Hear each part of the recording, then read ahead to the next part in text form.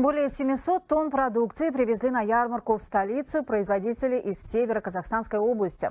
Это мясо, молочную продукцию, овощи, мед и многое другое. В эти выходные торговые ряды традиционно развернули на площади в районе мечети Хазрет Султан. Аналь Хидельказа с подробностями.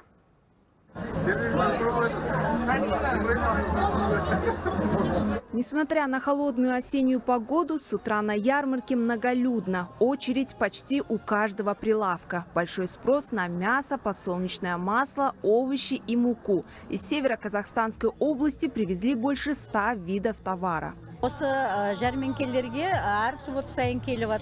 Я всегда стараюсь закупаться на ярмарках. Уже купили мясо, курт и сыр. Тут большой выбор свежих и натуральных продуктов. А самое главное – цены приемлемые. Я ехал на велотреке на своем велосипеде. Вижу, девочки идут, несут яблоки. Ну, поехал, взял сумки. На, почему бы нет? Вот. Внукам, себе, для пенсионеров эти скидки, вот эти, да. Вот. На ярмарке аграрии продают свои товары напрямую без посредников, поэтому цены ниже рыночных на 15-20%, отмечают представители.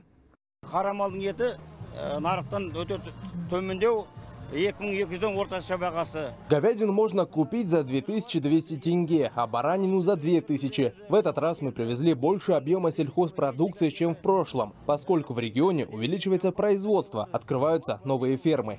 Всего в ярмарке участие принимают свыше 100 предприятий региона. За два дня в планах реализовать товар на сумму порядка 500 миллионов тенге. Анель Едель, Казахлбек Исимсиитов и Искандер Сергалиев. Хабар 24.